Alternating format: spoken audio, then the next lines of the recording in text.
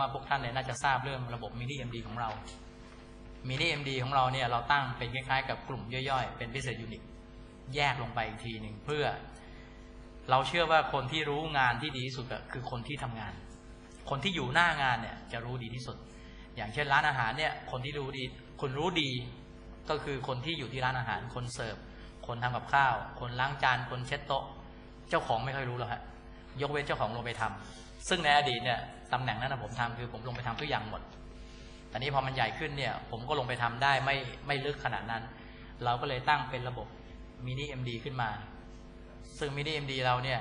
ก็จะรู้ทั้งด้านการตลาดเขาจะหาด้เองนะครับเขาจะคิดราคาเองเขาจะคุมการผลิตเอง แล้วเขาจะคิดต้นทุนเอง คุมต้นทุนเอง แล้วเขาจะวิเคราะห์การเงินให้เราฟังด้วย ตอนนี้เราสร้างมาเกือบ 80 คนแล้ว เป็นกองย่อยๆๆมันเหมือนหน่วยซีลของอเมริกาลบบนบกก็ได้ ลบในน้ำก็ได้ ลบทางอากาศก็ได้นะฮะผมผมผมเรียกพวกนี้ว่าเป็นกองโจรน้อยๆให้ไปเจาะออเดอร์ ส่วนผมกับที่นั่งเนี่ย เราก็จะคุยเป็นเชิงนโยบายกับลูกค้าส่วนใหญ่ ส่วนย่อยๆเนี่ยให้ให้เด็กๆทำมันเหมือนกับธนาคารหนึ่งที่มาจากใกล้ๆใกล้ๆบ้านเราเนี่ยเขาบอกว่า ธุรกิจที่อยู่ในเมืองไทยเนี่ย ควรจะให้คนไทยทำ เป็นคำพูดที่ดีนะฮะเพราะฉะนั้นธุรกิจที่เราทำเนี่ยเราก็ควรจะให้ระดับกลางกับระดับล่างเนี่ย เป็นคนทำแล้วเราเป็นคนคุมเป็นพี่เลี้ยง เป็นคนที่ให้นโยบาย ดูแลภาพกว้าง ซึ่งแนวคิดแนวคิดที่ผมทำเนี่ยทำมาแล้วสิบกว่าปี มันทำให้เราโตได้อย่างรวดเร็วนะครับคราวหน้าผมอยากจะลองให้น้องๆมินิเอ็มดีเนี่ยมาคุยกับท่านสักคนสองคน ดูว่าจะปะทะกับนักลงทุนไหวไหม แต่ผมเชื่อว่าว่าว่าน่าจะรอดนะฮะ เด็กเราเนี่ยเรารู้ทั้งด้านการผลิต รู้การตลาด รู้เลโชการเงิน รู้วิเคราะห์บัญชี เอาบัญชีมาวิเคราะห์ได้ว่าเขามีจุดอ่อนจุดแข็งเขาต้องแก้ตรงไหนนะครับ เดี๋ยวคราวหน้าผมจะพามาสักคนสองคนให้ให้ท่านได้คุยนะครับ หรือถ้าอยากท่านถ้าท่านอยากคุยเยอะไปโรงงานเรา ให้คุยกับเด็กเหล่านี้ ก็เพื่อไม่ให้เสียเวลาขออนุญาตให้เริ่มรัฐภูมิเลย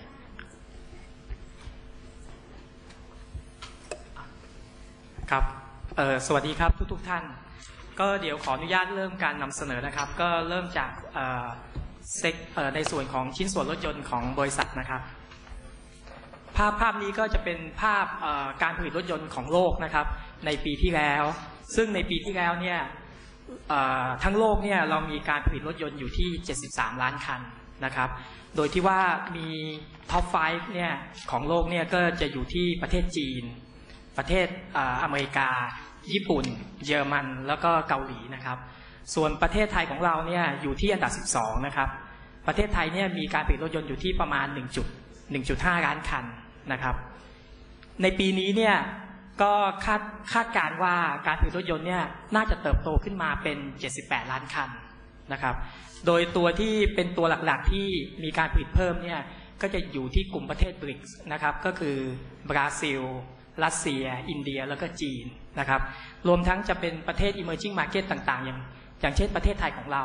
ปีนี้เนี่ยก็จะมีการผลิตรถยนต์เพิ่มขึ้นอย่างมากนะครับ ทีนี้ถ้าเกิดมาดูภาพของอุตสาหกรรมรถยนต์ในประเทศไทยเนี่ยครับปีที่แล้วเนี่ยประเทศไทยเนี่ยมีการผลิตรถยนต์อยู่ที่ 1.45 1.45 ล้านคัน ก็ลดลง 11%นะครับ แล้วก็เป็นเอ่อเป็นการขายในประเทศเนี่ย ประมาณ 8 0 0 0 0คัน แล้วก็เป็นการส่งออกเนี่ยประมาณ 660,000 คัน ก็อย่างอย่างที่ทราบกันนะครับว่า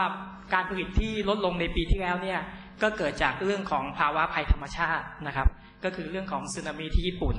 แล้วก็เรื่องของน้ำท่วมในประเทศไทย ทีนี้ในปีนี้เนี่ยครับคาดการณ์กันว่าการผลิตเนี่ยจะสามารถเติบโตขึ้นมาที่ 2.2 ล้านคัน เพิ่มขึ้น 51%นะครับเมื่อเทียบกับปีที่แล้ว ก็เป็นการขายในประเทศเนี่ย 50%แล้วก็เป็นการส่งออก 50%ครับ ทีนี้เเราเรามาดูเรื่องของผลประกอบการของ Q4 นะครับในส่วนของ segment รถยนต์นะครับ ก็คือในส่วน segment รถยนต์ของบริษัทเนี่ยใน Q4 ปีที่แล้วเนี่ยมีรายได้ 120 ล้าน ก็ลดลง 21%นะครับ สาเหตุก็ทุกท่านคงทราบนะครับว่าก็เกิดจากเรื่องของการปัญหาเรื่องเรื่อง supply chain ซึ่งเกิดการ short นะครับ ทีนี้กำไรสุทธิเนี่ยใน Q4 ปีที่แล้วเนี่ยเราขาดทุนประมาณ 5 0 0แสนบาทนะครับ หลักๆเนี่ยของการขาดทุนเนี่ยก็คือหนึ่งก็คือเกิดจากเรื่องของยอดขายที่ลดลงนะครับ ยอดขายที่ลดลง ส่วนที่สองก็คือเกิดขึ้นเนื่องจาก ค่าใช้จ่ายในการป้องกันน้ำท่วม อย่างที่ทุกท่านคงทราบว่าโรงงานชิ้นส่วนรถยนต์ของเราเนี่ยได้มีการย้ายย้ายโรงงานเนี่ยไปอยู่ที่ชนบุรีนะครับ ซึ่งตรงนี้เนี่ยทำให้เรามีค่าใช้จ่ายส่วนส่วนหนึ่งนะครับ ในส่วนที่3เนี่ยก็คือเอเราถึงแม้ว่ารายได้ใน Q4 จะลดลงเนี่ยแต่เรายังคงทุกอย่างไว้ ทั้งเรื่องของกำลังคนแล้วก็เครื่องจักรนะครับ เพราะฉะนั้นเนี่ย ทั้ง3สาเหตุเนี่ยทำให้กำไรสุทธิเนี่ยใน Q4 ปีที่แล้วเนี่ยลดลงไปประมาณ 30 ล้านนะครับ ถ้าเกิดว่าเรามาดูภาพรวมของของปีปีที่แล้วนะครับ รายได้ของปีที่แล้วเนี่ยอยู่ที่ 673 ล้าน เพิ่มขึ้น 18%นะครับ ในขณะที่กำไรสุทธิเนี่ยลดลงไปกำไรสุทธิเนี่ยอยู่ที่ 93 ล้าน ลดลงไป 16 ล้านนะครับ ก็คือออย่างที่ผมเรียนให้ท่านทราบว่าจริง ๆ ในไตรมาสสี่มันควรจะมีกำไรสุทธิสักประมาณ 30 ล้าน ทีนี้เราไปเจอปัญหาซะมันก็เลยดึงกำไรสุทธิของทั้งปีลงไปครับ ทีนี้ในปีนี้นะครับ ก็สไลด์ตัวนี้เนี่ยเป็นเป็นสไลด์ซึ่งโชว์ว่าในปีนี้เนี่ยเราตั้งใจที่จะเติบโตในธุรกิจรถยนต์อย่างไรนะครับ กลยุทธ์หลักๆของเราเนี่ยก็คือเราเน้นเรื่องของมินิ MD ซึ่งตอนนี้เนี่ยทางทางเราเนี่ยได้จัด mini MD เนี่ยหนึ่งมินิ MD ดูแลหนึ่งลูกค้านะครับ โดยเราคิดว่าความรวดเร็วของของการตอบสนองลูกค้า แล้วก็ความสามารถในการแข่งขันด้านราคาของเราเนี่ยจะทำให้เราสามารถขยายตลาดตรงนี้ได้ได้อย่างรวดเร็วขึ้นนะครับ ก็คือถ้ามาดูในในรายละเอียดของแต่ละ car maker นะครับ ก็คืออย่างกลุ่มมิซูบิชิเนี่ยปีนี้เนี่ยเราตั้งใจที่จะขยายออเดอร์ในชิ้นส่วนลดในชิ้นส่วนของไปนะครับ แล้วก็ในชิ้นในชิ้นส่วนของชิ้นเมทัลครับก็คือในชิ้นส่วนของไปเนี่ยก็เรียกว่าในในกลุ่มลูกค้ามิสูบิชิเนี่ยออเดอร์เราได้เกือบหมดแล้วนะครับแต่ว่ามิสูบิชิปีนี้เขาจะผลิตเพิ่มขึ้น เพราะฉะนั้นเนี่ยรายได้เราก็เพิ่มขึ้นตามจำนวนผลิตที่เพิ่มขึ้นของเขา ในส่วนของ sheet metal เนี่ย เราจะได้เป็นเป็นชิ้นงานใหม่นะครับ ก็คือชิ้นงานที่เป็นตัว supporter ของตัวแท้ง XGV นะครับ ในส่วนของกลุ่มที่2เนี่ยก็คือทั้ง Toyota Honda Isuzu GM Ford แล้วก็ Mazda นะครับ ในกลุ่มนี้เนี่ยออเดอร์มันก็จะมีการเติบโตใน 2 ส่วนคือคือออเดอร์เดิม แล้วก็ออเดอร์ที่เป็น New Model นะครับ อย่างตัว Piping เนี่ย New Model ที่ที่มันมีเกิดขึ้นมาก็คือจะมี New Civic นะครับ 2012 แล้วก็จะมี BT 50ของ Mazda จะมี Ford Ranger ตัวใหม่นะครับ จะมี Ford Focus ตัวใหม่ แล้วก็จะมี Isuzu ตัวใหม่ รวมทั้ง GM ตัวใหม่ ตัวนี้เนี่ย